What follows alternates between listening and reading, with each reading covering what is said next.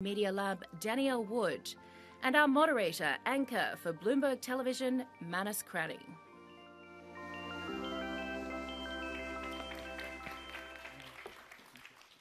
Ladies, gentlemen, good afternoon. I think we've technically broken into the afternoon. This is probably one of the heaviest hitting panels that I've ever done. I've got two engineers and one mathematician.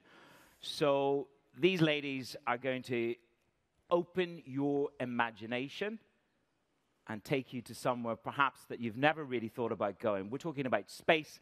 It is T minus 60, the, the race. But what I want to do here is I want to bring the opportunities to life. Perhaps you've never really thought about commodity trading. Well, Flavia is going to make that come alive. So we're going to start with the biggest opportunities that there are. Flavia, let's kick it off. You're in Australia. You've been there 10 years. You've raised capital, but you blew my mind with what it is that you put into space and what you do. Good morning. Good afternoon. Good morning. And uh, yeah, so glad to be in this beautiful city. So thanks Singapore for hosting all of us with our space ambitions. I am based in South Australia, Adelaide, uh, Italian rocket scientist and founded a company seven years ago that has gone through, has gone very well. um, we have a constellation of satellites for, um, we look for critical minerals. So we use satellites to find lithium, copper, and all the minerals that are important for the energy transition. Um, I've been a space nerd since young age. Now I'm a CEO, so I've got a different job. But uh, I've been always fascinated about the ability to just bring space to a normal entrepreneurs. So as you can see, you got three women here. You don't have Jeff Bezos, Elon Musk, or Richard Branson, but we are building some incredible uh, space activities all around the world. So we use our satellites, and it's, you know, in Australia, mining is, is a very big industry. Mm-hmm. I'm very passionate about the energy transition and uh, batteries and uh, all the growth that this will require in the next 20 years. So we found a solution to use very small satellites, kind of changing the infrastructure cost in the sky to enable new business models on Earth. And we found this amazing application that allows us to look for critical minerals and allow customers and around the world not to drill as much. Okay, and we'll come back to that. There's some pretty impressive stats in terms of the, the sustainability. So the satellites that you put up there are the I think the smallest one is the size of a pizza box. The woman who's going to revolutionize how we connect with one another in space, build in space, transport in space, it is Hélène. Infrastructure. Uh, I mean, when we got together on Zoom, Hélène, you said, okay, Manus, we've got two space stations at the moment, and the objective is probably eight to 10. Now, how quickly do we get there? Is that burning ambition or is that reality? And is that an opportunity? Yeah, so probably, I don't know, not all of you realize, but indeed, when we look up there, we have two space stations, uh, let's say, uh, orbiting around the Earth. So indeed, one Chinese and the International Space Station. If we now place ourselves 10 years ahead, probably there'll be around eight space stations, two around the moon, and around about six around the Earth. So probably one Indian, probably two to three private American space stations, and potentially an additional Russian one and the ISS probably will be down by then. So basically, it's a 400% growth of in-space infrastructure. And uh, that's an opportunity for us on Earth, of course, because on the one hand, it's basically building our future as human species. Before we go to Mars, the first step, of course, is to learn how to live up there and then how to learn to learn how to live around the moon, basically. And for the Earth, uh, we can manufacture in space, we can do in space things we cannot do on Earth. For example, we can do research on cancer in space, we can grow crops in space, that things that we couldn't do in Earth. And we also, while being in space, actually, uh, we face very important challenges in terms of uh, energy storage, in terms of new types of batteries. I just take the moon as an example. If you want to stay like six weeks on the moon, you'll have to sustain minimum once what is called lunar night, which is minus 200 degrees 14 days of night. So it means if we want to do that, we'll have simply to find completely new technologies in terms of batteries and energy storage. So that's basically a huge boomerang effect back. And what we're doing at the exploration company is basically providing the transportation system so that we can go to these stations. So we're building a spaceship, uh, which is launcher agnostic, can be launched by SpaceX, can be launched by Ariane, can be launched by Indian launchers. And basically, once we are launched, we go to stations, around the Earth. We go to stations around the moon. We can refuel our vehicle, and then we come back, and then we reuse the vehicle again. So that's basically what we're doing. And the first time in the world with green propellant. So actually, we are one of the first, I think, the first company in the world really contributing to build a space transportation ecosystem which is sustainable. And, and that is when you begin to stop squabbling over two or three percent growth in China, and you begin to blow your own mind and think, where is the next 10 years of growth? And, and after the Zoom call with each of these three ladies, it was like, yeah, you know what? I need to stop talking about macroeconomics with China and the United States of America and start talking about the next 20 years I- in space. Now, Danielle, you made it very clear to me that the imagery that's in most of this mind here is, dare I say it, maybe some of the launches that we saw this year, defense uh, and intelligence as a result of the Ukraine war made some of these issues come alive. But you say, I need to go beyond that. It's about space being a public utility, which goes back to the very principles of the UN. Uh, when, when first regulation came in. What do you mean by that? That space is beyond a public utility, more than just a public utility, or should become a public utility? I love building on the examples my colleagues here have given. And the thing I want to highlight, as you've been saying, is that in the next few years, we're going to see humans do activities in space that'll fundamentally shift our relationship with locations beyond Earth. It means we're going to, as you say, see lots of new activity in orbit around the Earth, as well as on the moon. And all of that feeds back into service to Earth. So part of my job is to help us remember both the opportunities and the challenges that are coming up. Because right now, we can use space technology that already exists to help meet sustainable development goals as identified by the United Nations. We can also ask what sustainability challenges are we creating in space and you're already thinking about addressing, and which ones do you want to avoid? So, space is what we call global commons. The United Nations did a really excellent work even back in the 60s in the midst of the opening of the Cold War, amazing teams came together from many countries and wrote a set of treaties. And this is the first idea that I wanted to make sure people hear. People sometimes come to me and they ask, what's going to happen in space because there's so much uh, freedom of action and there's no one with any rules. I say, no, no, actually. And this is part of the myth busting that you wanted to present, which I is the first myth to bust is there are rules in space, but they come through international law, and then they are implemented by national governments.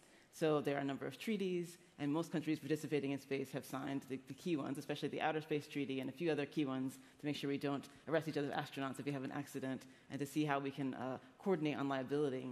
So there's a number of great and actually quite noble, I think, uh, writings about international space law. And most countries operating in space have signed these and made them domestic law. And those domestic laws are applied to any private activity happening in space, which is good news. It means that companies that are starting in space do have guidelines they have to follow. It also means we gather with the United Nations in a committee called the Committee on the Peaceful Uses of Outer Space every year in Vienna, and there's ongoing debate and dialogue among countries about how to coordinate these exciting new activities that are coming in space. And those UN principles are peaceful purposes, accessible to all countries, and benefits of all countries and every state is internationally responsible for the junk you leave behind. We'll come to junk in just a moment. It's amazing, actually, what you begin to read when, when you prepare for something which is slightly off your own beat. So, one word which has permeated across uh, the conversation so far is about sustainability. So, Flavia, when you and I caught up, y- you talked about there's 5 million drill holes, the success rate is 0.5%, and what you can do in your world is dramatically improve the hit ratio and perhaps the carbon footprint for big miners. Make it come alive for the audience. So what you all need to understand that you know probably you look at the space industry and you think what what is going on? Why there are billion dollar investment in a reusable rocket or people going to go around uh, and have a look at Earth? There is a lot of money invested in this industry, and from Vigilant to P to Growth Fund, it's been incredible in the past 20 years. But I think the key to understand is that space has always been very infrastructure heavy, very expensive, just for few, but this has been changing. So when you change that, and it really changed with software entrepreneur entering into the space industry, right? Kind of changing a little bit the dynamics. You are enable a different way to do space. So look at Elon Musk, right? Elon Musk had an incredible idea to reuse rocket to launch satellites. You probably think, what does have to do with anything, right? Reality is that in the past five years, five years ago, I was launching one of my satellites for a million dollars. Now it costs me a couple of hundred K. So in mm. four years, the economics has changed. So it really allowed my business to flourish. So he launches my satellite with his rocket, and I find critical minerals for Tesla.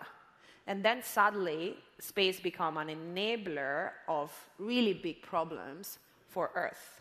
So you create that cycle that can just be disrupted when you have reusable rockets or small satellites. My satellites are 3D printed and very, very small. So there's a lot of very scientific, complicated things up there, but they're solving problems here.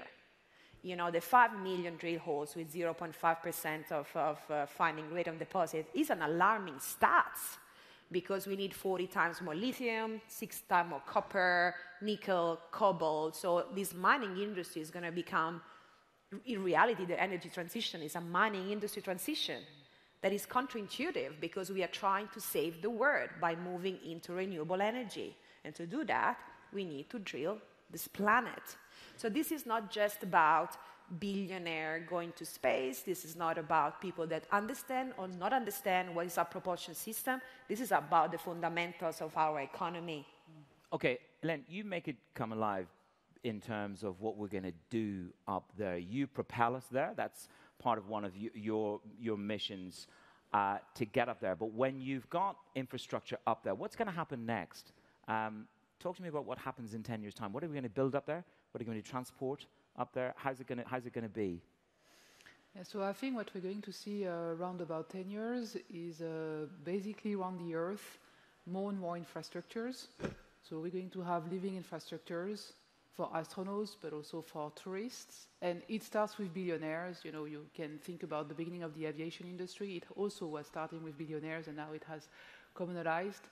So probably not in 10 years, but we'll see that, I think, longer down the road in space. It took around about 70 years for the aviation, basically. Uh, that's the, basically the time frame between the first tourists and the creation of Ryanair. uh, we're also going to see in space, I think, around the Earth, um, strategic slash military infrastructures for the very simple reason of what Flavia was mentioning. Uh, space is becoming more and more critical for Earth in terms of imagery, which enable us to optimize agriculture, logistics, climate.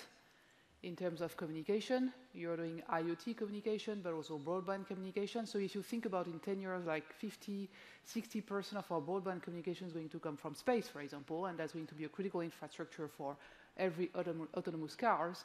And then you add to that positioning, you immediately see that if these infrastructures are being hacked or being destroyed, we're going to have huge problem on Earth. So there is a critical need to protect this critical infrastructure, and to protect these critical infrastructures, I think we're going to see in space military infrastructures, storage, but also capacity for spaceships or vehicles uh, that can remove threats, can be debris, so this is for space sustainability, can be also other kind of threats. Um, that basi and basically these vehicles uh, will also have the need to refuel because they need a high velocity on the one hand, and they need also the capacity to stay in their, I would say, operational uh, area, uh, and this means refueling. So I think what we're going to see around the Earth in 10 years is on the one hand a commercialization with space tourism, with infrastructure to basically be research platform for the Earth. Mm-hmm. So using microgravity for discovering new types of crops, um, doing a lot of progress in medicine. So that's a research platform basically. And on the one hand, on the other hand, sorry, basically strategic military infrastructures basically to protect this critical communication, positioning, and Earth observation infrastructure that will have become absolutely critical for life on Earth. And Danielle, that's where I want to bring you into the conversation. By the way, I, I, get the funny feeling that it's going to be she who discovers the energy complex on the dark side of the moon is probably going to be the winner in this race, not, not Jeff or, or, or Elon or, or Richard. Um, we'll come to those in a moment. There's a question from the audience. Everybody, please pop a question in. This is not my show, this is your show. Uh, pop a question in ask the question that perhaps I haven't thought of. Uh, but Danielle, to, to you, when we chatted, you say, but Manus, there are no weapons of mass destruction. We're in the midst of a, a Ukraine-Russia war. The hyperbole in the media is, of course, the weaponization of space. We've seen Elon Musk do the good with Starlink for Ukraine. Um, but again, to that point that Hélène just made in terms of the weaponization of space, how real is that, or is the world strong enough to make sure it doesn't happen? Right. So, loving the, the history you're all bringing, I was going to add the idea that you talked about the changes in launch costs, and I think we also want to bring in what you mentioned was small tech, satellite technology, which is also a series of universities and small companies that have demonstrated how we can build things with smaller systems, also leveraging the technologies in our phones, for example. And so this helps us think about your question. First, people might hear a headline, such as like the United States opening a space force, and think that something brand new is happening. But we have to recall that there's been military activity since the beginning of the space era. The military is really far outspending everyone else, especially in the US, in space, so that's not changing. The questions are going to become, I think, like Hélène said, what does it mean for militaries to find that their need to support their national assets is both on Earth and in space? What's exciting to ask is what are the opportunities because of the mutual interdependence that we'll continue to have uh, in space in a way that's also real on Earth? I think the next phase is noting that there's many more players than maybe we're giving credit to. Uh, my team, we build prototypes of systems that can promote sustainability on Earth and in space. And one example is low cost sensors to make measurements for science. We've been invited by the United Arab Emirates uh, to include a very small and simple payload on their rover, which is going to the moon soon. And we're just one of many scientific payloads flying along with a rover led by the United Arab Emirates. And that's just one example of the broad set of countries that are coming into play uh, in every continent who have their own national space agenda. And so the space conversation isn't just around the major players that we might think of, like US and China, which of course, very active. Uh, it's also uh, every part of the global north and south where every continent is seeing a change. So international relations is happening both on the ground and in space. One example to consider is um, the new uh, African continent-wide agency for space, which is then supporting uh, the work of also multiple national agencies in countries like South Africa, Benin, Ghana, uh, places like uh, Rwanda, where there are activities in space either to apply applications or uh, to do work to have a national capability in space. So again, I, another propulsion. We've got a couple of questions from the audience, so let's ask you these. Um, okay, very quick response on, on, these, ladies, if you will. Uh, how concerned are you that Elon Musk's focus on Twitter is a distraction on the important work of SpaceX? A, a quick response, Hélène. Do you think it's a distraction yeah, I mean, to the space race? I think Elon has proven that he can do many things at the same time with uh, SpaceX and Tesla, so I'm not really worried. Flavia. Mm, it should be okay. I think he has demonstrated a lot, and, uh, and maybe the distraction will be useful for the companies to work mm. more calmly. we should see. Okay. Uh, the other question that's come in, um, Danielle, why don't you take this, which is which country is winning the space race? Interesting use of word race rather than uh, war. Which country do you think is leading, mm. leading the way, leading the charge? European, Australian, we have on the panel. China. Uh, no, I, yeah. There is, you know, if you look how many rocket uh, companies are built in China, we, you guys just don't know. Like China has got most of the satellite company in the world. They got five, six, seven, eight rockets that work. They're doing a good job. China's way out ahead. Danielle, for you, who's winning the space race? I mean, how do we define space race? But who, who is perhaps the most innovative, doing perhaps the most futuristic work that we need to talk more about? In a way, I think it's the wrong question because I think the question will be uh, which countries are going to set an example for the behavior that we want to see repeated in space in the future. So the question I'm asking is as we're seeing the first activities where humans will stay through multiple lunar nights on the moon, as that becomes a reality, as we start to create infrastructure, we have key questions to ask that are going to set a precedent. Once one team has a longer term base on the moon, for example, or once one team operates or perhaps is engaging in mining on the moon or uh, you know, other locations like uh, asteroids, this is going to set a precedent that then will either be rejected or copied by other players. And I see possible futures. I think I really appreciated the earlier discussion on we may not predict the future, but we should plan for the possible futures that can, can come. I see a case where China takes a direct you know, action that then sets an example that either the global community is proud of or has concerns about. And I see a need for debating that, hopefully before uh, I think mistakes are made. I think the moon is small and we want to protect it from uh, basically from pollution. And you lead the, the, the, European initiatives you have done in the past, Hélène. So are you going to be nationalistic or are you going to agree that maybe the Chinese might be out ahead? No, I think it depends from, uh, let's say, which point of view you look at. Uh, if you look basically, I think, at who's done the most uh, impressive progress in the past 20 years. I would agree with Flavia. I think, I mean, China is very, very impressive. If we look at where China was like 20 years ago and where China is today, it's very, very impressive. Uh, and let's remember that China was the first to land at the dark the face of, of the moon, which from a technical perspective is a huge challenge. Now, if we look at who has the most, let's say, innovative idea and has been absolutely transformational for the space sector, of course, it's Elon Musk. So I'm not saying the United States, I'm saying Elon Musk and SpaceX. And uh, what I'm trying, what I'm trying to there. build in Europe, and I think that's extremely important actually, as I told you, we are the first uh, space transportation company using green propellant for a very big vehicle. So you can think of our spaceship basically is um, you know around about 10 ton. It's going to carry around about four ton to space stations, around about three tons to the moon. And we are also the first in the world to open source our brain system and to share that with others. And for me, this is the very core DNA of Europe, which is about cooperation. And we will not be able to create a sustainable space ecosystem, a cooperative one, if we, as Europeans, we are not strong.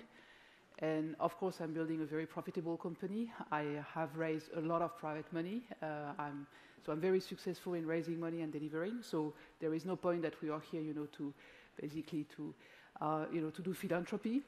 But I also want the company to embody the core value of Europe, which is about cooperation. Yes. And I think this is absolutely needed in space Yep. today. And this is where Europe can play a leading role, actually. So to answer your question is depending on which you point. Fastest growth, China, most innovative, Musk, and I think cooperation, Europe needs to take a leading position here. If I may, I Yes, just to please. jump in on the, the pronouncement of Musk as an individual, because I think we can't take, separate that from the idea that uh, government policies, in this case from NASA, for example, have been right in step, meaning uh, Musk wouldn't be where they are currently, and the, the RAR team where they are if the government wasn't also agreeing to partner with them to create marketplaces for the kind of work they're Yep. doing. So I think there's lots of funding, but also technical support and engagement between SpaceX in this case and, and NASA, and which is part of government policy to say we want companies to have these capabilities. So I think it's great to see that individual visionaries are there, but they're part of big teams that have sort of years of government and engagement. So I think adding that is important to only message I have to investors to say if you are considering investing in a space company, uh, ask what role the government does play or might play that becomes part of the anchor market, the anchor tenant, you might say, on a station, for example, because that's probably going to still be important for years to come, which I think is not a bad thing, because space is a public utility, going back to an earlier Indeed. question. It provides public services. Very briefly, because time, the clock ticks down, and the one thing that fascinates my mind is about asset management, portfolio management. And this room is filled, uh, and indeed beyond, the audience beyond, with investors. You don't need capital, you're oversubscribed. You're open to capital, and you're open to capital. How much do people here in this audience and beyond need to begin to understand about allocation of capital to space and beyond? Very briefly, in 20 seconds each. Hélène. Okay, so I think space is a business basically where the winner takes it all. Mm. So if you invest in space, I would recommend that you really look into the technology and to make sure that the company is at the down of a market and able to basically become number one or number two in this market in the next five to ten years. Are you going to And be then- number one And then or you have the the winning infrastructure, basically. Are you going to be number one and number two in the next five to Of ten course. She's already is number one. Flavia. Uh, for me, what I've learned, I'm, I'm, I'm re- finalizing our Series C rates is a really big one. What I've learned is if you're a good tech and you have a market feed that is not as uh, common when you have a space company. So if your revenue is very, very high, it's rare. It's rare, You have revenue. rare, lots. There you go. So Danielle. it is very rare. And it's fascinating for an Australian company go to Silicon Valley and literally receiving the impact, the, the answer to say, yeah, it's rare, it's amazing. Yeah. Danielle, the closing line to you in terms of I know it's the MIT media director, but but you know capital is important to you as well, isn't it? Sure. We're asking companies through our project called the Space Sustainability Rating to voluntary, voluntarily participate in a way to show their basically their environmental sustainability commitment. So it's a way that private sector can help address a challenge that is not being fully addressed by governments. Uh, so that's part of our work. It's such a pleasure to say, ladies. Thank you very much for being with me. I could include myself, but I'm not that. I'm not that egotistical. Hélène Huby, Flavia Tata Nardini, and Danielle Wood. Your you. T minus 60 race for capital and beyond. Beam me up. Good morning. Good afternoon.